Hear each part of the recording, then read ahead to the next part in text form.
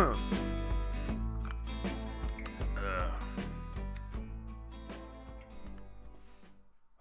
everybody. This is the Reverend Phillip K. here with you on the Dude's Journey podcast. Uh, got no video for the YouTube folks today. Uh, working solely on the audio. Um, now, the reason uh, I haven't posted an episode in quite some time, I was uh, uh, had some issues there. I had recorded two episodes, but when I went to edit them, the audio was was terrible. Something had happened, so uh, I also discovered the computer I was working on, um, unfortunately, has uh, some issues. Uh, the power supply is out, so I've got to fix that. Which, and it's a super system, so it's like three hundred dollars. I'm like, Jesus. oh man. They don't make them cheap. You want power, buddy? You gotta pay for it. I'm also getting over a cold, so you'll hear a bit of a raspy cough as I'm smoking here, which helps so much with that. Oh. But hey, I hope you're all doing well out there in the world. It is November 18th. And Thanksgiving is a week away, so I'm sure you're all getting your turkey and pie and cranberry sauce ready. I'm not doing turkey. I, I, the women in my family hate making the turkey. I've made probably one turkey, and it's an SOB to do. So we just said, fudge it, let's just do ham. And we'll make the ham fancy, you know, with, with, with like the pineapple slices and the cherries. And, and uh, uh, and uh, to me, it's like uh, one friend pointed out, it's like, why spend all this trouble doing a turkey? You could just do rotisserie chicken. I mean, they're going to smother the crap in gravy anyway, so what does it matter what type of bird it is? And you can get rotisserie chickens for $5 at the Costco.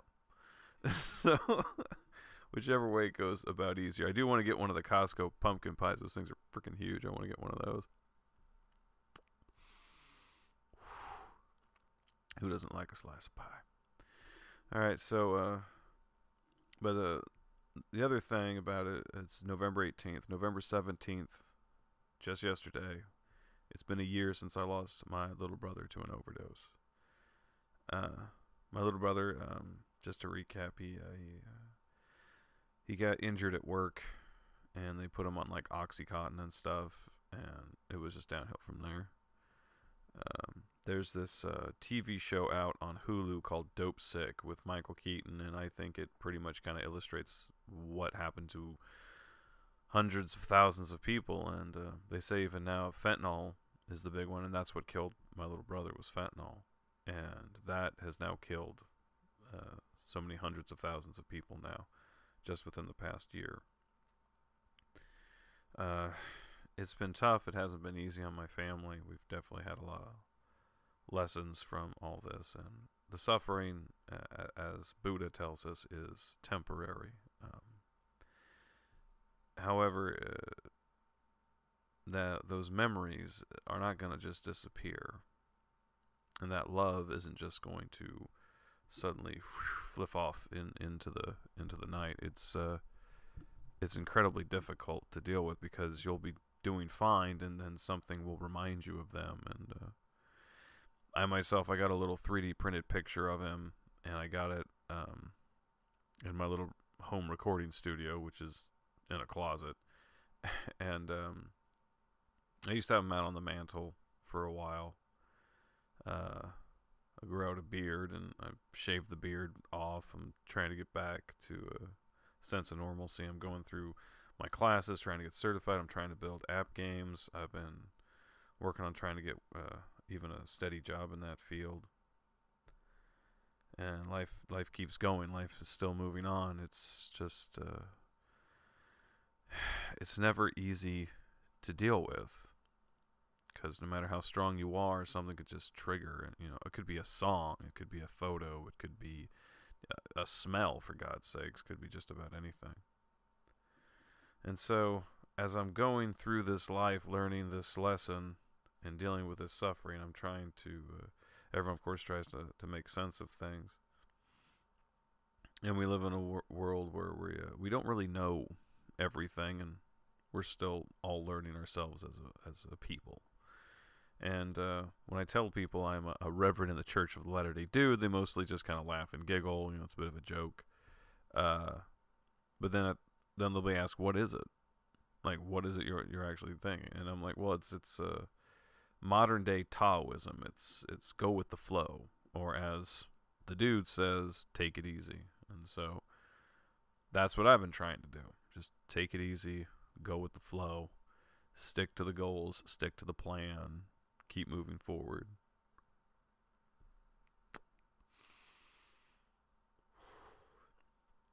And yeah, sometimes it's easier said than done because sometimes you don't feel like doing anything. But, so a lot of times, you know, most would say that uh, they, they know how to take it easy. Hey, man, I go out with my friends, you know, chill out, have beer, watch TV. I, I know how to take it easy. Well, I mean, maybe you can take take it easy in a certain moment, but have, have you been able to do that all day? What about when you were cursing at other cars while driving to work, or the customer that badmouthed you, or your your kids, you know, when they're not when you're yelling at kids about messy rooms and stuff. You're not taking it easy then. You know, you, are trying to keep a, a calm state of mind. And as the great Bruce Lee would say, one of the best lessons you can learn in life is to master how to remain calm. Calm is a superpower. And that guy used to beat people up for a living. So, you know, that, that, that says something. That says something there, my friend.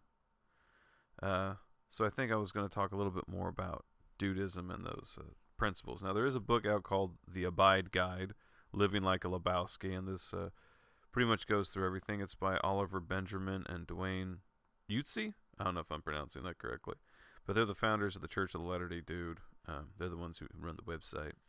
And so in here they've got the seven spiritual laws of taking it easy. So I was going to go through this with you today and see what they have to say. Like, what is it? You know, I, I know that there's, uh, they talk about the seven spiritual laws of success uh, by Chopra and, uh,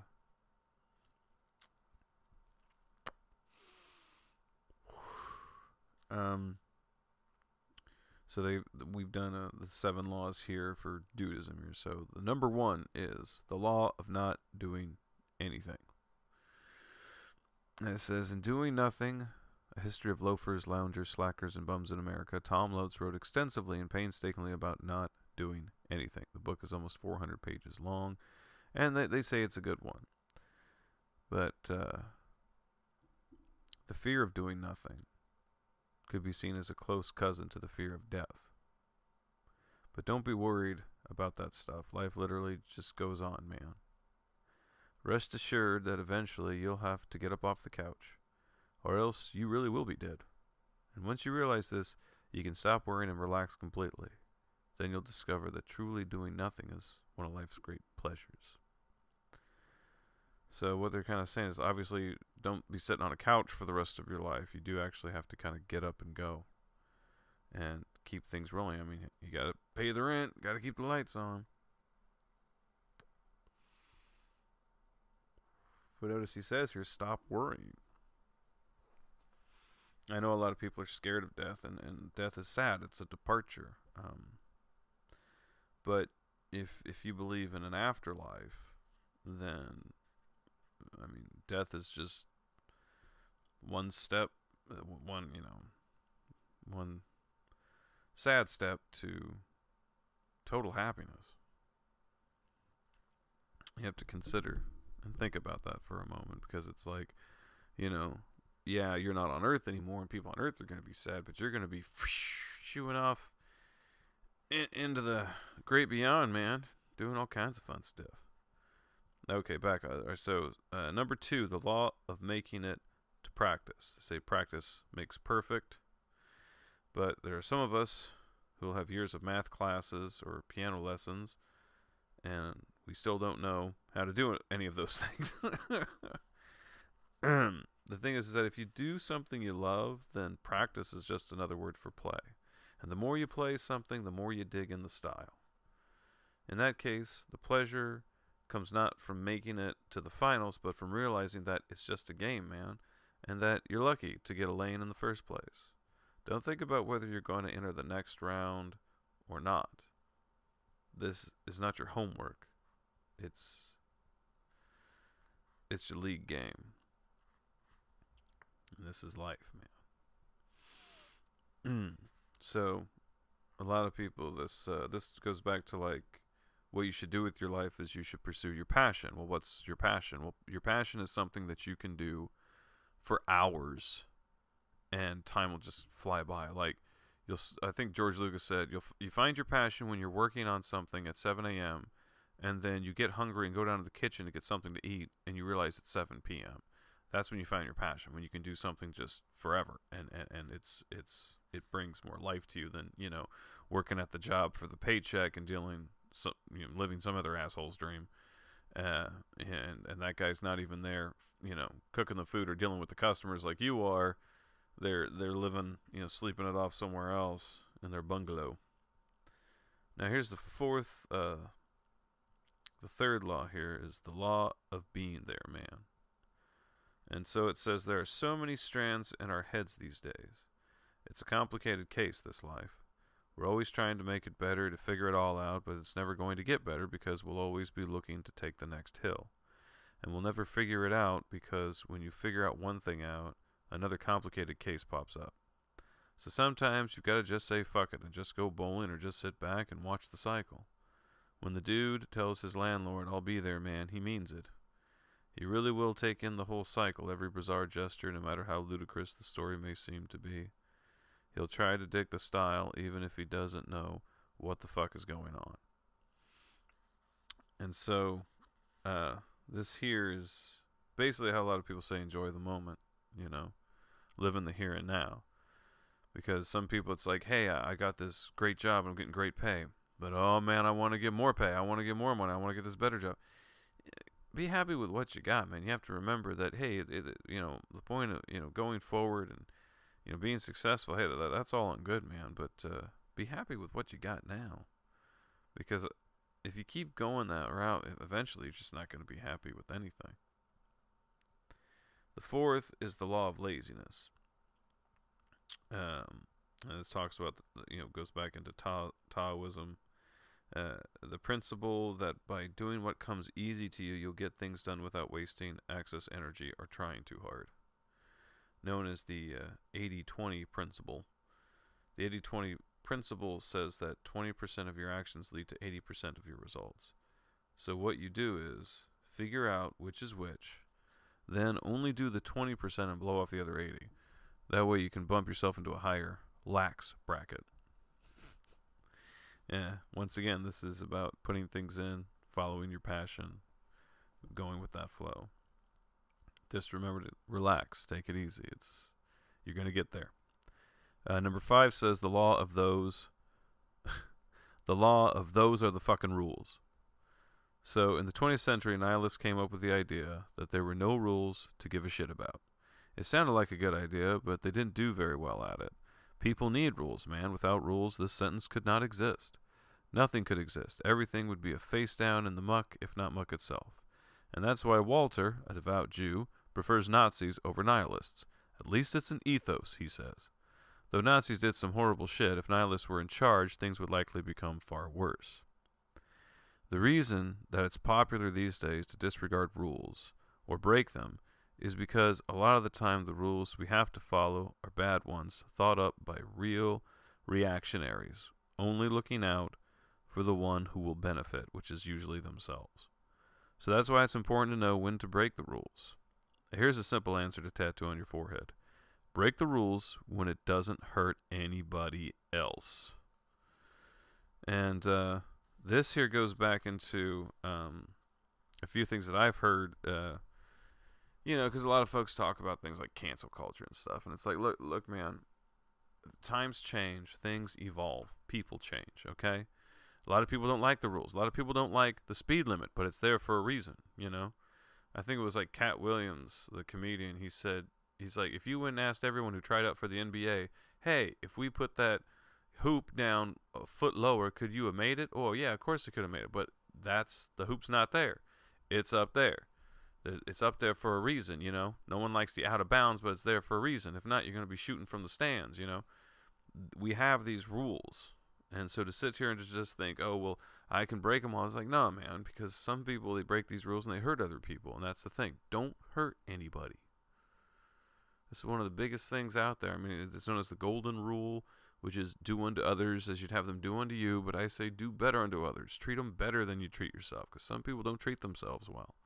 So try to do yourself to be better, man. Uh, the sixth law here says the law of fucking listening occasionally. The problem with some lazy people is that they can be so often lost in daydream sequences that they miss out on real life. Daydreams are of vital importance to the Dudeist mindset and lifestyle, but they can also fuck up the most simple plan if they prevent us from paying attention. The trick is to know when to fucking listen occasionally and learn something, and when to say fuck it or I'm sorry, I wasn't listening. There's so much to listen to these days that it's important to take the time to go in, tune out, and kick back. Otherwise, all the strands in the old duder's hair will get tangled up and make him or her very undued. But not listening at all will turn you into a goddamn moron or a fucking dunce. And I have to say, I agree with that. You, you have to listen. A lot of folks, you know, when you listen, you learn. When you speak, you just repeat what you already know. So listen, listen to people, listen, uh, uh, uh, uh you know, to educators, uh, listen to everybody, and then you can formulate your own decision. A lot of people say, I'm only going to listen to one religion. Well, then you, you're not listening to everything else out there, and you're not realizing that a lot of the other things out there influenced your religion. If I told you that there's, like, you know, this entity, uh, all right, I gave this example the other day about learning, it's important to learn about other religions. And I said the reason for that is because you'll find similarities. You'll also find that the story of whatever prophet or savior you're following has been told before. Everyone takes these legends and it's it's just been put onto the next person, the next prophet. Prophet Muhammad has a similar one, and you'll find this in a lot of them, man. So that's why you really got to open yourself up and listen. And when you listen to other people of other faiths, you, you, you learn a lot of stuff, man. And I've learned a lot. I've learned to open my mind up to things and to understand other people out there because it's like just because, you know, we're different doesn't mean that we're trying to kill each other. All right, so the seventh and final law is um, the law of achieving the modest task which is your charge. Eh, fuck it, six laws isn't enough. So, okay, that's it. it's more like six, but you know. So this puts us into to like hope that gives you a little more uh, mind in there on onto Dudeism it's uh, like I said, there's a lot of dudes out there from a lot of different walks of life, a lot of different faiths, a lot of different countries, and dudes are male or female, and um, they all typically lead us or, or, teach us something. They hold to a certain uh, truth or value, or, or maybe a, certain aspect of life that encourages us to be better, to do, to do more.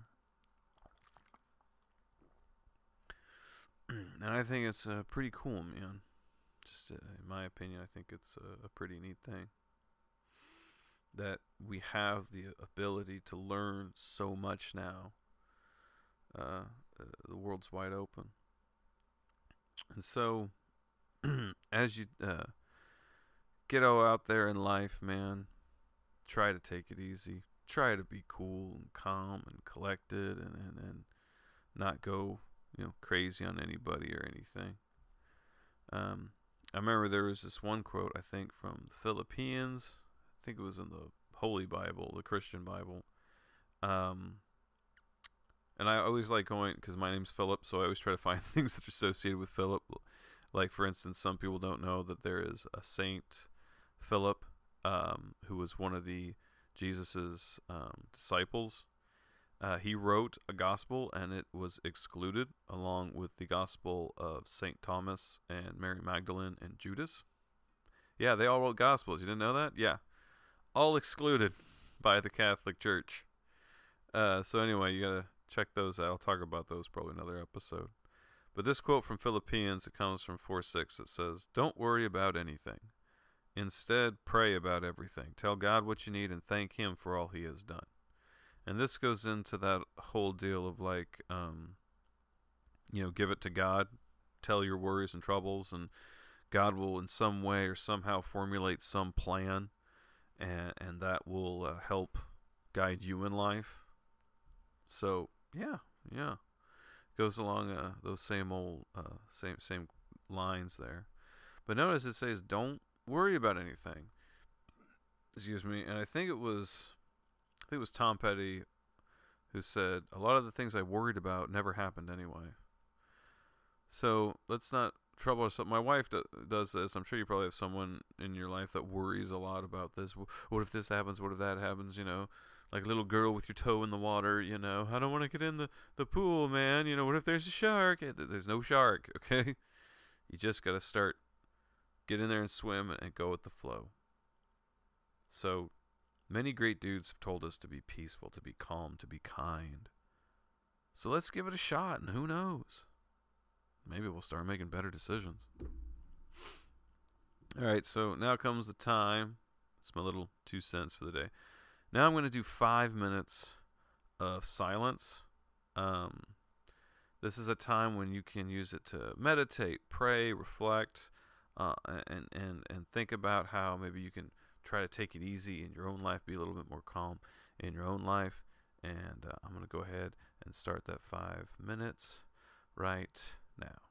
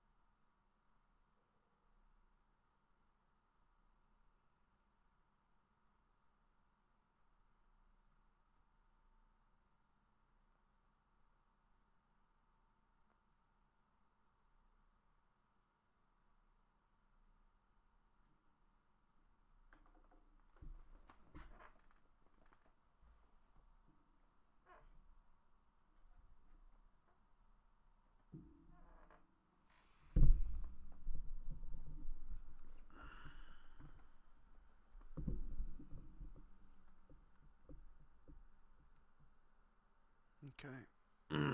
Five minutes, man. yeah, it's nice sometimes just take a breath from the day, you know what I mean? I don't know you, but I just sat back and had a smoke. So, I hope you can take the day's word today and take along with you out there. I know uh, I've got work I've got to do and things we're all we're all doing. And I can only hope and wish you that the best of times, man. And so I hope that every day that you can find a way to take it easy. Because when you take it easy, the dude abides. Thanks for listening. I'll see you next time. Hopefully, uh, I can get another one of these. so far, I'm at one a month. Woo! All right, man. Y'all have a good one.